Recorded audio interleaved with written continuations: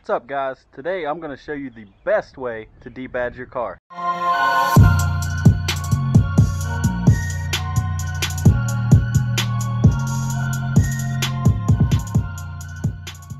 Carefully.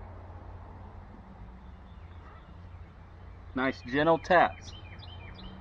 So you're going to see a lot of different ways to do this. There's a hundred videos on YouTube showing how. This is the best and my favorite way. Fast, clean, simple. Requires a chisel and a hammer. That's it. It's the only two tools you need. So check this out. A couple taps. Debadged. Now no one knows what you're running. Simple.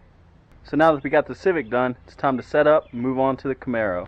Alright, so we got everything set up. Got a 16 ounce ball peen, nice cold chisel. Carefully, nice gentle taps. I'm just kidding, don't, don't do that. Unless you just don't care about your car. So this is actually what we're going to use to accomplish this.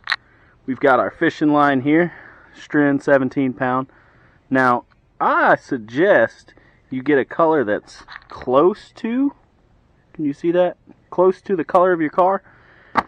In case it leaves some marks, you know, you want it to kind of blend in, if you get my drift. So we got a drill here with an eraser wheel. That'll make life easy. We got a plastic razor here. We also got some super solvent or some kind of paint prep would work just to kind of clean the area up and get all the goo off, you know, in case you need it. Got a heat gun. Uh, we'll need that on the other side where it's in the shade. Probably won't need it here, but I'll do it just for demonstration purposes. Obviously an extension cord. Okay, just for demonstration, put a little heat on there. I'm just going to go with a low setting. You don't want too much.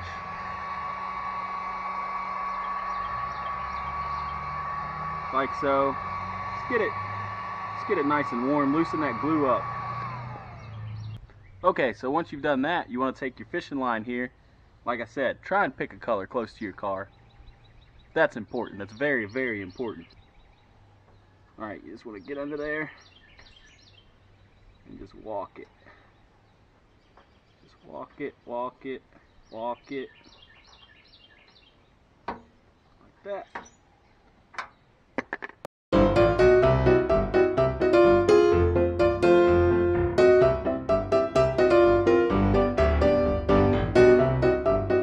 Okay, now it's time for this. Whoa, whoa. Let's use it right, huh? Now it's time for this.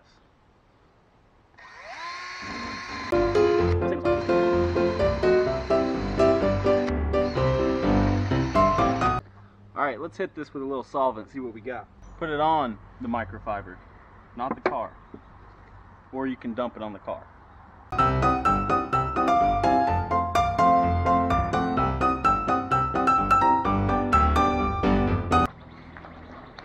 Look at that. Can't even tell it was there. Beautiful. You'll definitely want to put some wax on after you have that kind of chemical on there, so be a good idea. Alright guys.